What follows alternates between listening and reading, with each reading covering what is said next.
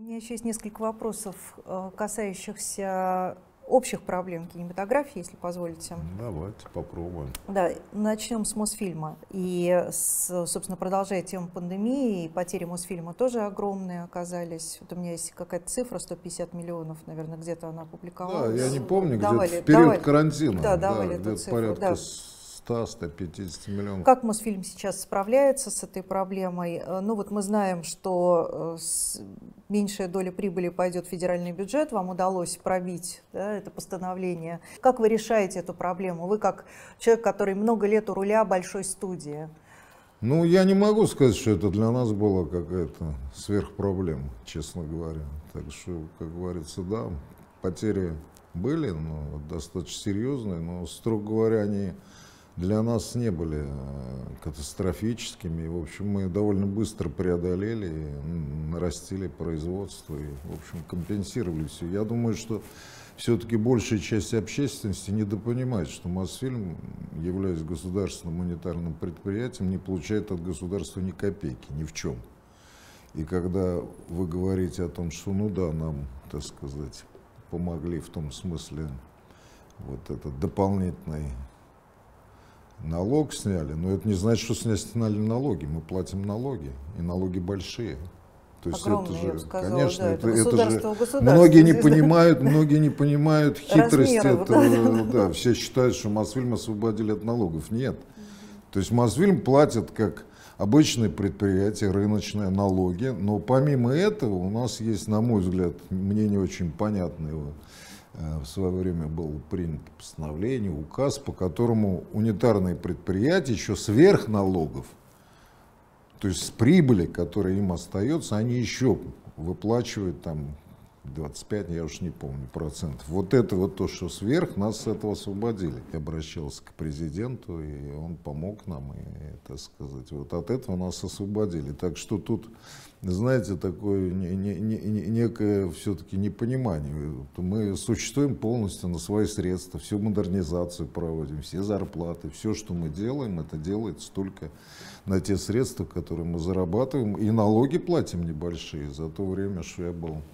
Вот, я директор, но я думаю, миллиардов 10-15 мы выплатили э, в государственный бюджет. Я думаю, что это, считайте, несколько лет работы кинофонда мы закрыли. Сказать, что эта пандемия нанесла нам какой-то смертельный удар, нет. И мы, мы, кстати, ничего не просили. Непосредственно в период пандемии ничего дополнительного, да? Не, мы ничего не получил? просили, мы, у нас был карантин, мы выплачивали всем людям зарплату в полной степени, мы выплачивали тем, кто работал, потому что все равно часть людей работала, хочешь не хочешь, студия, там, охрана, служба обеспечения, плюс к этому все равно у нас работали же, у нас телеканалы многие работают, которые в прямом эфире, Поэтому многие сотрудники работали, и им мы выплачивали дополнительно премию еще. Для нас это, ну так, да, не, не очень как бы хорошо, но не катастрофа. И в принципе сейчас мы полностью восстановились, у нас очень большая загрузка. Даже я бы сказал, странным образом, не знаю, с чем это связано, у нас выросла загрузка после пандемии. У нас никогда не было такого огромного строительства павильонов. Сейчас просто огромное строительство. У нас наш цех, вот замечательный цех, который очень хорошо строит декорации, но он просто, просто разрывается. Все павильоны заняты, и много, кстати, кино, много телевидения, но очень много стало кино и очень такие большие декорации. И, в общем, мы строим их. И так что с этой точки зрения у нас и полностью тон-студия загружена, практически все ателье работают. Ну, наверное, то, что называется отложенный спрос. Ну, это я не знаю, я даже не могу этого объяснить. Я думаю, что, скорее всего, все-таки все-таки сегодня Мосфильм дает такое качество, которое никто не может дать на, на, на территории Российской Федерации с точки зрения звука, и с точки зрения строительства декораций, с качества павильонов. Поэтому я думаю, это все сказывается то, что было заложено до этого. Мгм. Ну вот мы знаем, что Мосфильм не так часто запускает э, в производство свои фильмы. И вот Владивосток это один из немногих. А есть какие-то еще планы на Ну, производство? во-первых, мы очень много картин, мы не очень об этом этот. Ну, например, Фурман сделал картину, Фурманов Влад. Мы в фактически были сопродюсерами. Мы очень много картин, которые мы участвуем. Э, Мендадзе сделал картину, мы же сопродюсерами были. Мы, мы очень много картин делаем, мы вкладываем э, мощности. Владивосток мы и, и вкладывали, финансировали. Мы имеем право из прибыли финансировать какие-то картины. Но мы очень много картин делаем. В этом году мы сделали картин 5 вот так вот участвовали. Сейчас вот э, «Белое море» дебют э, Федор Попов делает, там в ГИК дебют делает, мы тоже там участвуем. Мы, кстати, и деньгами участвуем. Другое дело, что эти картины ничего не приносят. Это другой вопрос. Но мы считаем, нужно все-таки помогать коллегам, кинематографистам. В этом смысле мы, мы, мы делаем. Так что у нас довольно в этом смысле большая. Но с другой стороны вопрос он такой, а кто у нас, собственно, запускает картину? Мы просто не просим денег у государства. Да, я вот как раз, Разница я как в том, что это, другие да. берут у государства и запускают. Да, приходят на питчинги также, Э, да. на пи- мы, мы не участвуем в этом. Мы, если мы, если мы что-то делаем, то мы делаем исключительно на свои средства. Мы у государства ничего не берем. Так что, ну, конечно, мы не можем при нас неплохая ситуация, но так позволить себе достаточно, чтобы это был поток картин, мы, конечно, не можем на, сегодняшний день. Мы будем стремиться к этому, но я говорю, очень много картин мы э, участвуем в них э, мощностями, то есть, в принципе, это такая же коупродюсерство, то есть это стоит денег, мы вкладываем там постпродакшн, камеры, не знаю, какие-то какие мощности, это в результате там несколько миллионов, 10-15 миллионов рублей мы вкладываем в картины, их, их достаточно много. И таким образом вы получаете права, да, на показ. Ну, мы получаем права, но получаем какой-то процент от прибыли, который ни разу нам ничего не дало. Вот, но получаем права, мы берем права на интернет. Мы хотя бы выкладываем картину у себя в нашем кинотеатре на YouTube, что вот в какой-то степени, не то что это компенсирует, но хотя бы это новые картины, которые мы выкладываем в нашем э, в коллекции Мосфильма, их смотрят. И, кстати, благодаря этому, я думаю, что большинство этих картин зритель хоть как-то видит. Потому Да, что у нас на. YouTube порядка 40 миллионов просмотров в неделю. То есть это, это огромно, это порядка почти 200 миллионов в месяц. Канал, телевизионный канал, это только коллекция или эти фильмы тоже на канале показываются? Ну, какие-то э, какие можно. Вот Владивосток мы, собственно, будем премьеру там делать. Вот впервые мы решили именно на, на Мосфильмском канале сделать премьеру. Там, ну, какие-то какие у нас есть права, права, но они отложены. Там надо смотреть договора, когда мы заключаемся. э, то Ну вот к вопросу о том, что не так много, я как раз хотела спросить. Э, Вы состоите в Совете фонда кино, и за это время вы часто говорите, что главная проблема – это недоработанные, недоведенные до ума сценарии. да. И э, вот ваше предложение было как одно из решений, да, как, как системно э, решить проблему отрасли, э, это создать при фонде институт редакторов, который бы проводили вот эту творческую работу. И что-то двигается, как-то вот принимаются ваши предложения? А, Ну, не знаю, я, я ничего такого не знаю. Я думаю, что это, я много раз говорил, я считаю, что проблема российского кино в том, что оно от советской модели ушло, а в рыночную модель не пришло, оно оказалось посередине. На мой взгляд, находиться посередине это самое, как говорится, Бесполезное. не- бесполезное неудобное. Это. Либо надо модифицировать советскую систему, которая была, кстати, достаточно эффективна. Все, кто, я-то в ней, как говорится, вырос, и она, кстати, была совсем не, не, не, не так...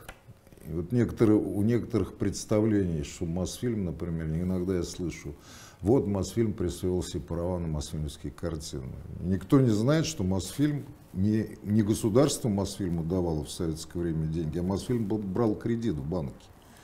Он брал кредит в банке, делал на эти деньги картины, и, и Госкино ему потом возвращал, если принимало. А если не принимало, такие случаи были, полочные картины, а иногда и художеств, по художественным линиям, то у Мосфильма были очень большие проблемы. То есть советская система была совсем не так как говорится, примитивно, как пытаются ее представить. Гораздо, гораздо более экономически, да, Она а, была жесткой. экономически это. Я напомню, что мы режиссеры, мы были в штате Мосфильма. Ты снимал картину, ты получил зарплату, ты получал постановочный гонорар, потом 6 месяцев 66%. Если ты не начинал новую картину, ты ничего не получал. Официально ты был в штате, но ты ничего не зарабатывал. И так длилось, могло длиться это запустить новую картину не так легко было.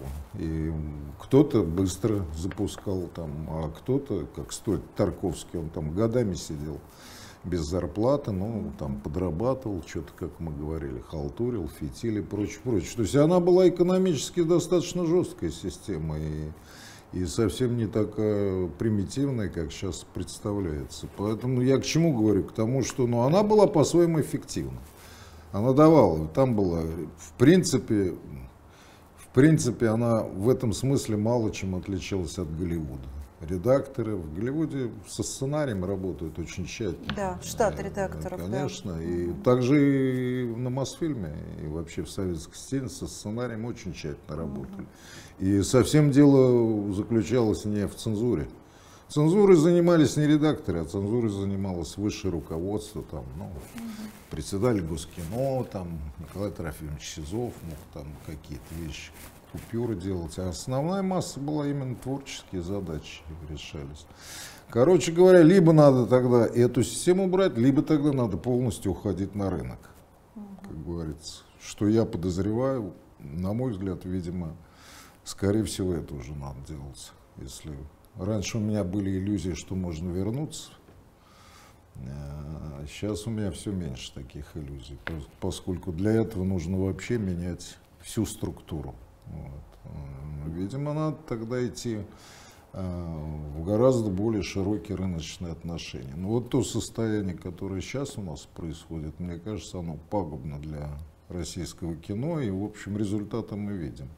И чем дальше это будет длиться, и чем да, дальше тем, это будет только хуже. Я вижу, что эта ситуация на самом деле она все, все хуже и хуже. Поэтому и отсюда и отсюда проблемы возникают, и отсюда, кстати, и качество режиссуры, и качество профессии падает, и, как говорится, и это... Оно не ориентировано никак... В СССР продюсером было государство. Оно выполняло роль продюсера. Сейчас, на самом деле, ну, продюсер это все-таки человек, который оперирует не просто средствами, которые ему передало государство, а все-таки каким-то образом должен от них зависеть и, и как-то это быть, быть в ответе. За ответственным. Это. Да, да, ответственным, да. да. И как говорится, то есть, на мой взгляд, единственный путь реально это рыночный путь. Ну, насколько там, это, конечно, не моего ума дело это, это вообще, видимо, должно быть какое-то принципиальное решение, как вообще двигаться дальше в сфере кино. Но то, что я вижу, я, к сожалению, вижу, что это, на мой взгляд, люди боятся рынка. Я его не боюсь. Я 20 лет работаю на рыночном предприятии. Да. Я должен сказать, что эффективно работаете. Да, да, в общем, получается. Угу. В общем, в, общем, да, получается. я как раз тоже про это хотела сказать, что, в общем-то, в общем-то, если если работать, то получается. Если да, хотеть, и это, это, это не просто, да. это вынуждает нас, естественно. То есть ты должен все время шевелиться. Да. Ты должен все время шевелиться. И мы вынуждены все время думать о ценах, о, о том, каким образом продвигать услуги, как модернизироваться. Ты, тебя это держит в тонусе. Но когда меня спрашивают, там, а что вы там не просите, я говорю, нет, я уже лучше уж так. За, за, за, зато ты гораздо более Эм, все-таки эффективно действуешь, чем, чем. Поэтому мне кажется, что это мне кажется, что это неизбежный путь, если мы хотим реально иметь сильное кино. А, а я думаю, что нам надо этого хотеть. У вас уже построен один павильон, 17-й павильон строится, киноконцертный комплекс строится, да, да все, все строится. И э, это же тоже вот э, модернизация, она же, э, это реинвестирование своих же средств, да, это же все. Но это проект, э, это не наши средства, угу. но это проект, который был, по поводу него, естественно, много спекуляций всяких, угу. я понимаю, там за что-то такое, там чего-то там они придумали, все такое. Я, во-первых, должен сказать, что этот проект полностью согласован с правительством Российской Федерации. Вот, в свое время ему дал добро президент. Смысл этого проекта очень простой. У нас был кусок территории на, на сам, который был абсолютно не использовался. Частные компании строят свои по согласованию с правительством и Москвы, и Российской Федерации, свои здания, там офисы у них, жилые дома, а нам в ответ – строит вот по нашему заданию четыре огромных объекта. Два уже построены полностью, уже работает 16-й павильон и э, комплекс э, костюмов, реквизита. Там вообще совершенно потрясающий комплекс такого в мире нигде нет. И вот заканчивает еще один павильон, 16 нет, это будет 16 уже по 17 это был, сам, будет самый большой павильон угу. вообще в Российской Федерации, и один из крупнейших в Европе, и киноконцертный комплекс с выходом на Мосфильмскую улицу. Но это принципиальное строительство. Такого строительства на Мосфильме не было с середины прошлого века. Да. Это, не, не, ничего подобного не было. И, конечно, То есть это, это на самом деле закладка на будущее. Ну, это большая. дает студии принципиально другое качество. Мы можем с гордостью говорить, что мы не просто модернизировали Мосфильм, а и построили его. Я не стесняюсь этого слова, потому что мне эта мысль нравится. Это дает, конечно, некий адреналин, когда ты видишь, что это все получилось. Так что так что вот такая история. И там киноконцертный комплекс, там четыре зала будет, э, оснащенных по самому последнему слову техники. И павильон, огромный павильон, 17-й, который уже у нас очередь стоит. У нас, кстати, новый, 16-й, там, он, он ни одного дня не стоял. Там, там кто только не снимал. Кончаловский, Серебренников, кстати, там, Лебедев, самый популярный стал павильон. Ну, он действительно современный, современный. очень, очень такой, это полностью шумоизоляция, очень удобный. Он и для телевидения удобный, потому что там предусмотрено э, все, чтобы телевидение снимать это. Так что вот такая история. Впереди столетие. Как готовитесь? Ну, Что мы готовите? не, не знаю, как мы готовимся. Я, честно говоря, небольшой сторонник вот этих концертов праздничных. Ну, кроме концертов, ну, можно много всего. Ну, я вам скажу, что, во-первых, во-первых, наш замечательный совершенно наш сотрудник, руководитель нашего отдела исторического Мосфильм-Инфо, ГН Амбарцумян, написала потрясающую книгу, которая вот сейчас готовится к изданию.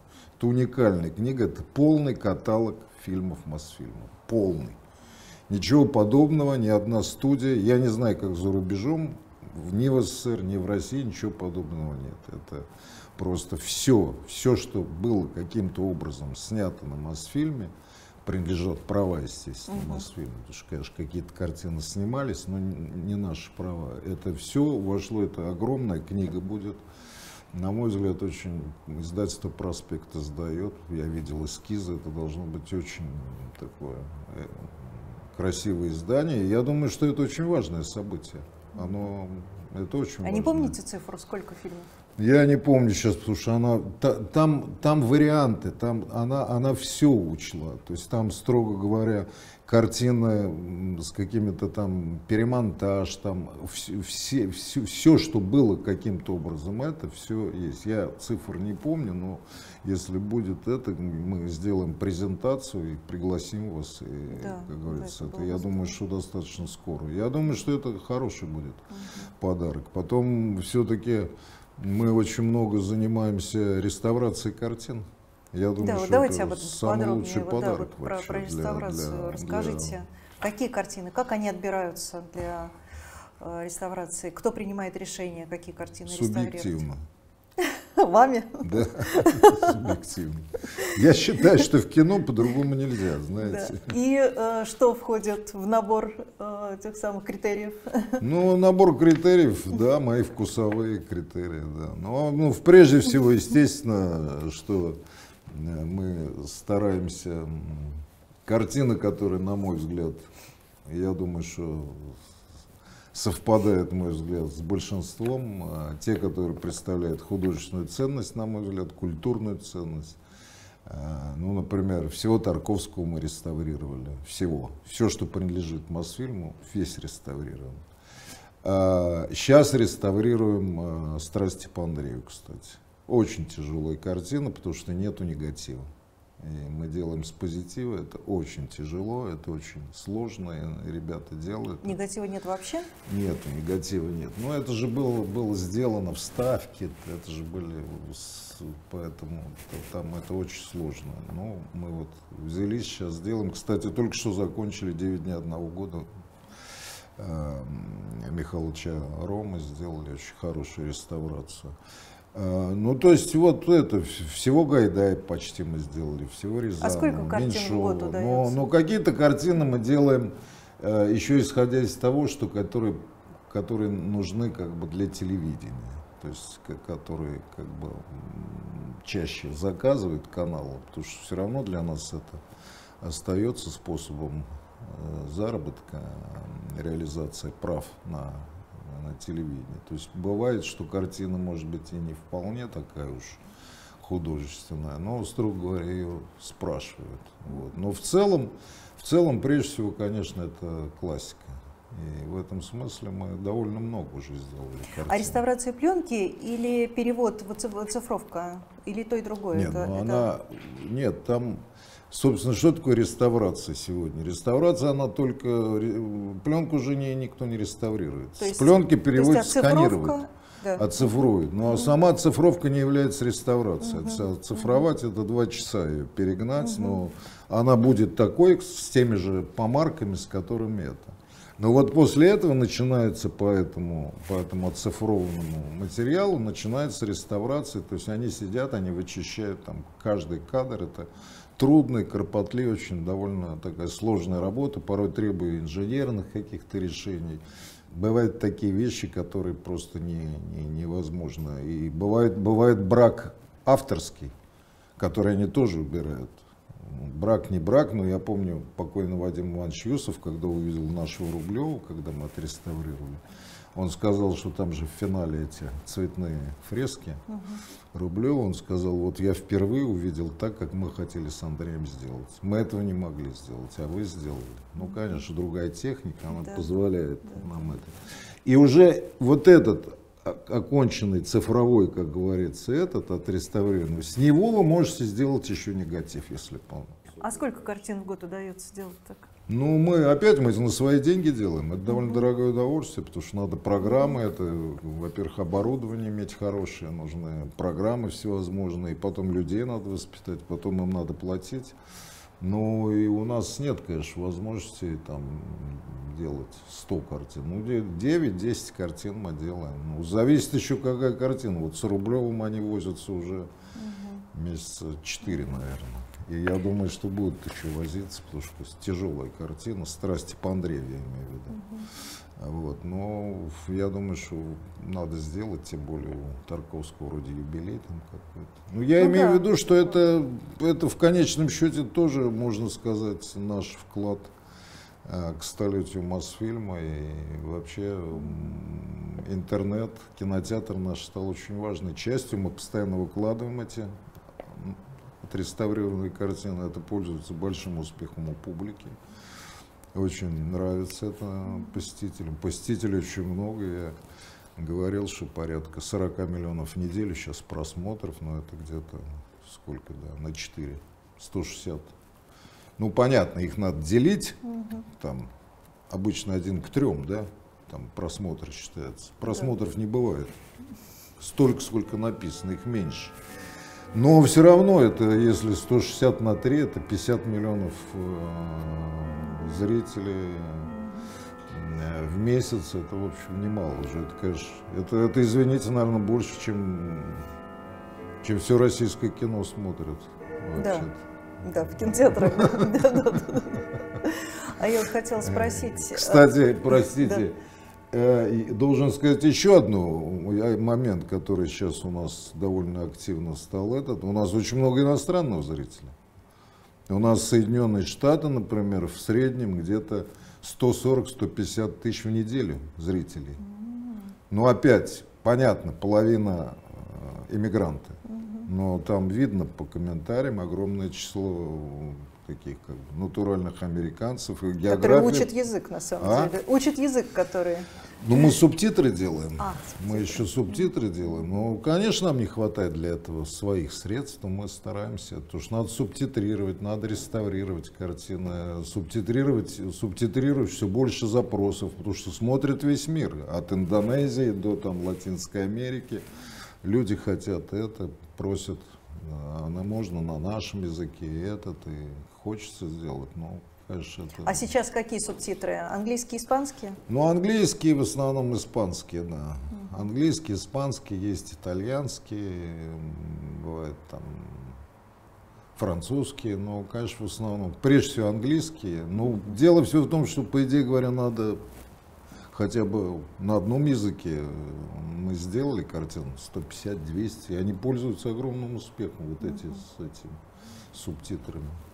А, ну, поэтому, конечно, не, не, не, не все удается сразу сделать. Но я думаю, что вот это... Сейчас, кстати, канал открыли в, на, в англоязычном YouTube, и тоже пошли там, а, выложили там картин 30-40, там только для английской аудитории с описанием для, английс... для иностранной аудитории в их, в, их, в их сегменте YouTube.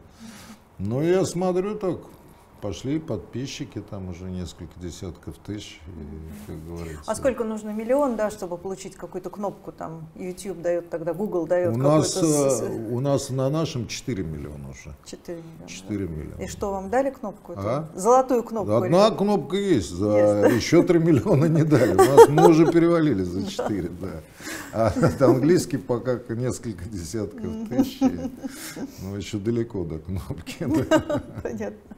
Вы знаете, в какой-то момент же музей Тарковского остался без э, дома. Вот было бы красиво, наверное, музей Тарковского, может быть, может быть, вот это тоже к столетию. Музей Тарковского открыть на Мосфильме.